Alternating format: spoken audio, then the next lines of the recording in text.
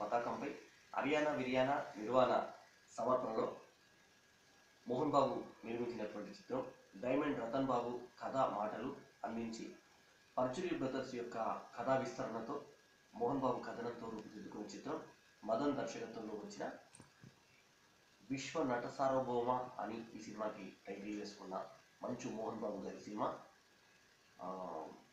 గాయత్రి. గాయత్రి కథా నుంచి వస్తే గాయత్రి సినిమా కథ కథనాలు పక్కన పెడితే ఇది ఓన్లీ మోహన్ బాబు యొక్క నట విశ్వరూపం చూడాల్సిన సినిమా. ఆయన అభిమానులకు ఖచ్చితంగా నచ్చే సినిమా ఇది. రవిరాజ పినిషెట్టి దర్శకత్వంలో యమధర్మరాజు ఏమి అనే సినిమా వచ్చింది. ఆ సినిమాలో ఆయన పోషించినటువంటి పాత్ర అందరికీ గుర్తుండే ఉంటుంది. ఆ అద్భుతమైన పాత్ర. సర్దార్ పాపరాయుడు తర్వాత ఎన్టీఆర్తో కొండవీటి సింహం లాంటి సినిమాల తర్వాత చెప్పుకోదగ్గ పాత్ర అప్పట్లో యమధర్మరాజు ఎంఏలో మోహన్ బాబు పోషించాడు. కొన్ని వందల సినిమాలు నటించి పెద్దరాయుడు లాంటి బ్లాక్ బస్టర్స్ అందించిన మోహన్ బాబుకు చాలా రోజుల తర్వాత ఒక మంచి పాత్ర గాయత్రి పటేల్ అనే పాత్ర మీ డైమండ్ రతన్ బాబు రాశాడు సినిమా కథ క్లుప్తంగా ఏంటంటే ఒక నటుడు ఆ నటుడు ఎవరు? మోహన్ బాబు శివాజీ పాత్ర.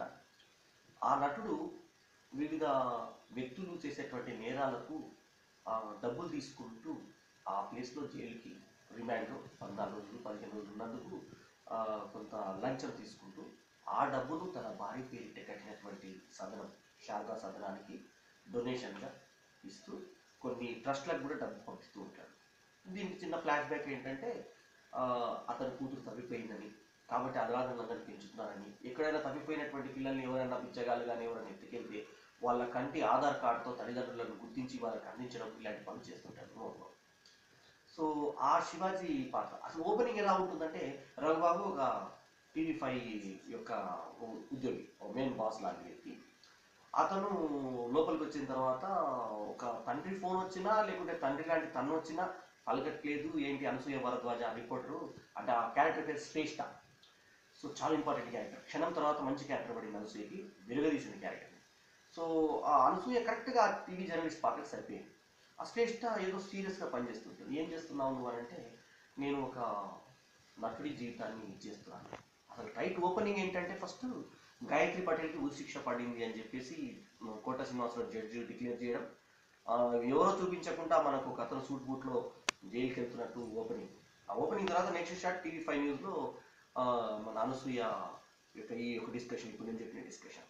అందులో ఏదన్నా డిఫరెంట్ ఉంటే బాగుంటుంది రొటీన్లో ఏం బాగుంటుంది అంటే ఇది నటుడు జీవితం. నటుడు జీవితం ఎవరు పట్టించుకుంటారు? ఏం నటుడు ఈయన అంటే మామూలు స్టేజ్ నటుడు అంటే స్టేజ్ నటుడి గురించి ఎవరు పట్టించుకుంటారు అని అంటే లేదు ఇతను మురిదీయబోతున్నారు అంటే అప్పుడు ఆసక్తిగా ఏంటి కథ అంటే అప్పుడు ఫ్లాష్ బ్యాక్లోకి వచ్చి అక్కడ శివాజీ స్టోరీలోకి వస్తాం. వచ్చినప్పుడు శివాజీ పాత్రని ఈ రకంగా తను డబ్బు సంపాదించడం కోసం వేరే వాళ్ళ నేరాలు తీసుకొచ్చి ఆ శేఖర్ అనే పాత్ర రాజరవీంద్ర పోషించాడు. శివ ప్రసాద్ ఇతని ఫ్రెండ్ ఆయన పేరు శివనే. సో ఆ శివాను శేఖర్ ఇద్దరు ఫ్రెండ్స్ ఈయనకి. శివప్రసాద్ మళ్ళీ మంచి పాత్ర దొరికింది. మన రీసెంట్గా సప్తగిరి వెళ్ళిన తర్వాత మంచి పాత్ర మళ్ళీ శివప్రసాద్ చేశాడు ప్రాణం పోసిన పాత్రకి. రాజారవీంద్ర కూడా మంచి పాత్ర. సో వీళ్ళిద్దరూ వాళ్ళు ఏం చేస్తుంటారంటే వీళ్ళ ఈయనకి హెల్ప్ చేస్తుంటారు. సో ఆ రకంగా వేరే వాళ్ళు ఏదైనా వేసుకొని జైలుకి వెళ్తూ వస్తుంటాడు. ఆ డబ్బుని అందరికీ పంచుతుంటాడు. ఈ నేపథ్యంలో ఇతను వైఫ్ శారద పాత్ర శ్రీయాసరను ఈ శ్రేయస్ అనే ఫోటోని ఆ అమ్మాయి రింగ్ టోన్లో పెట్టుకుంది. నా కూతురు ఎక్కడ ఉందనగానే మన ప్రేక్షకులకు ఓపెన్ చేస్తారు. ఆమె కూతురు ఎవరు అనేది. ఆ పాత్ర నిఖిల ఆ, అనే ఒక కొత్త నటి పోషించింది. ఆ, అమ్మాయి చూడడానికి కూడా బాగుంది. అది కొంచెం కథ మన రజనీకాంత్ గారి కబాలి టైప్లో కొంచెం పోలి ఉన్న అక్కడ నుంచి అంటే డిఫరెంట్గా సబ్జెక్ట్ చేసుకున్నారు.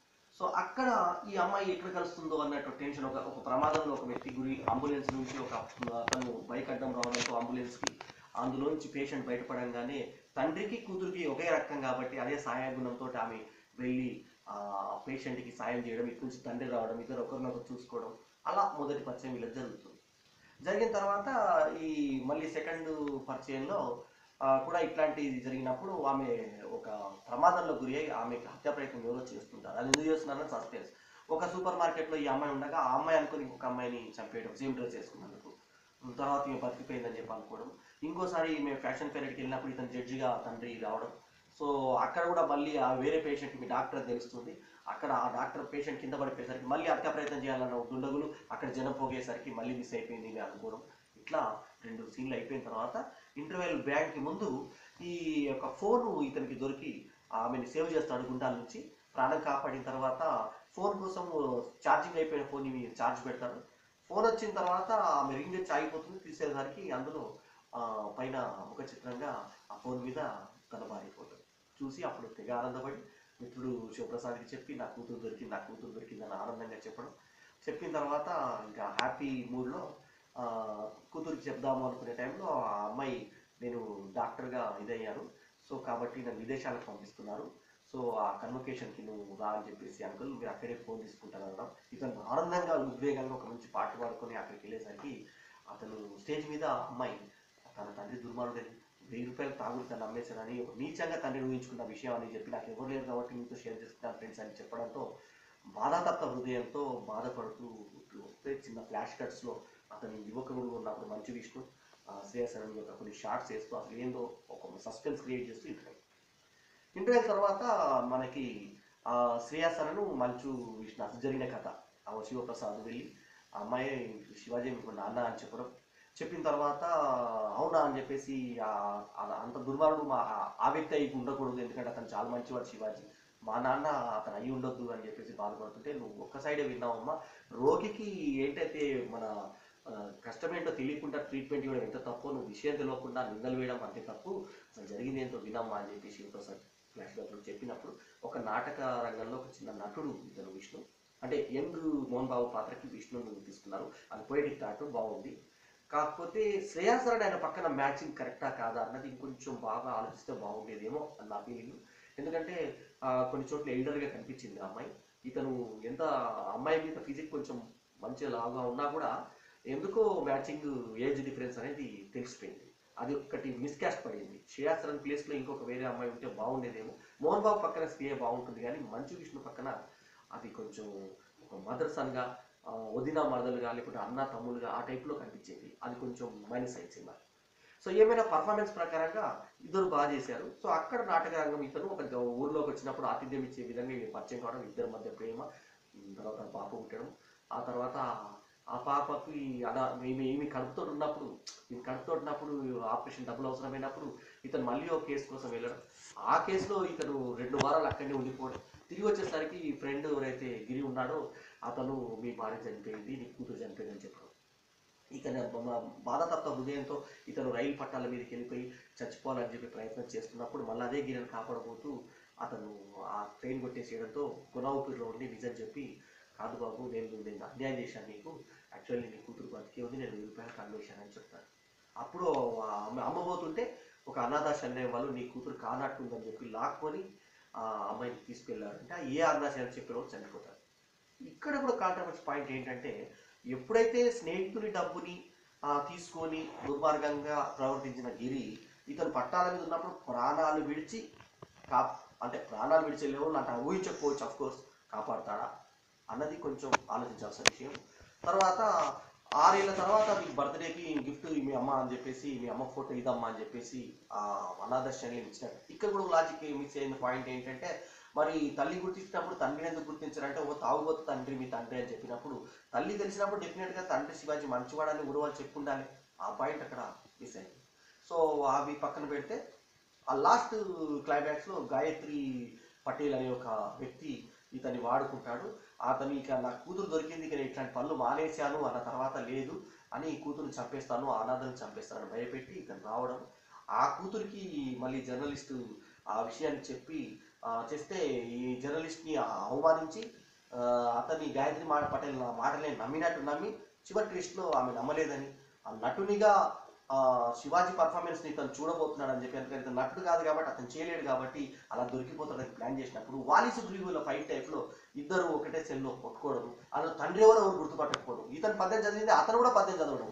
కానీ చివరి ట్విస్ట్ ఏంటంటే ఆ అమ్మాయికి గాయపడ్డప్పుడు ఒక కట్ర ఇచ్చినప్పుడు కర్రేసి కొడితే గాయపడ్డప్పుడు తండ్రి మాత్రం అమ్మ పరిగెత్తుకుంటూ వస్తాడు.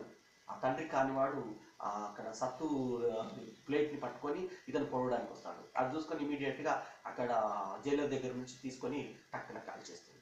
అప్పుడు తండ్రి కూతురు కావడంతో ఒక- ఒకటి కావడం అక్కడ హ్యాపీగా వెళ్ళిన మూడుతో సుఖాంతం అవుతుంది రాజేష్ పాత్ర సబ్ జైలరు అతను ఏది జరిగినా కూడా జ్యోతి ఇలా జరుగుతుంది జ్యోతి అలా జరుగుతుంది అని చెప్పేసి భార్య చెప్పే కామెడీ తర్వాత ఆలీ. ఆలీని ఈ అమ్మాయి అనసూయ ఫోటో తీసుకున్నప్పుడు వీళ్ళ యాక్చువల్లీ మోహన్ బాబుని కవర్ చేస్తుంటే మన గీతా సింగ్ వచ్చి తన భర్తని కవర్ చేస్తున్నాడు అనుకొని అతన్ని కొడుతూ ఉంటుంది. కొట్టిన తర్వాత అత క్రాప్ అంతా చెదిరిన తర్వాత మంచిగా చక్కగా దూసి మళ్ళీ పౌడర్ పెడుతుంది. ఇది కొంచెం కామెడీ బిట్స్ రెండు మూడు కామెడీ బిట్స్ వినియోగించుకున్నారు. సో ఈ రకంగా సినిమా జరిగింది. ఏమైనప్పటికీ ఇక ఈ సినిమా రేటింగ్ వచ్చేసి ఫస్ట్ ప్లై ప్లస్ పాయింట్స్ ఏంటంటే ఈ సినిమాకి డైలాగ్స్ బాగున్నాయి. పరచూరి వారు చేయి చేసుకున్నారు కొన్ని డైలాగుల్లో అది తెలిసిపోతుంది స్పష్టంగా. అట్లాగే డైమండ్ రతన్ బాబు రాసినటువంటి దానవీర సూర్యకరణ ప్యారడీ బాగుంది. సో అట్లాగే కథా మాటలు కూడా డైమండ్ రతన్ బాబు మంచి స్థాయిలోనే అందించాడు. సినిమాటిక్ అన్న తర్వాత కొన్ని తప్పవు అవన్నీ పక్కన లాజికల్ పక్కన పెడితే మోహన్ బాబు మాత్రం మంచి పాత్ర. ఇక మోహన్ బాబును విపాత్రాభినయంలో ఈ సినిమా చూసి తరించాల్సిందే. ఎందుకంటే విశ్వ నట సార్వభౌమ అనేదైతే టైటిల్ వేసుకున్నాడో కరెక్ట్ క్లారిఫికేషన్గా అతని నటన చూడాలనుకుంటే మాత్రం ఈ సినిమా హండ్రెడ్ పర్సెంట్ చూడాల్సిందే. పాటలు బాగున్నాయి తమన్ మ్యూజిక్ బాగుంది పాటల రచన బాగుంది సందర్భాలు బాగున్నాయి. సో సినిమా కమర్షియల్గా చెప్పలేం కానీ ఒక కళాత్మకంగా చూస్తే మాత్రం ఇది మంచి సినిమా అవుతుంది. నేను ఇచ్చే rating two point five bye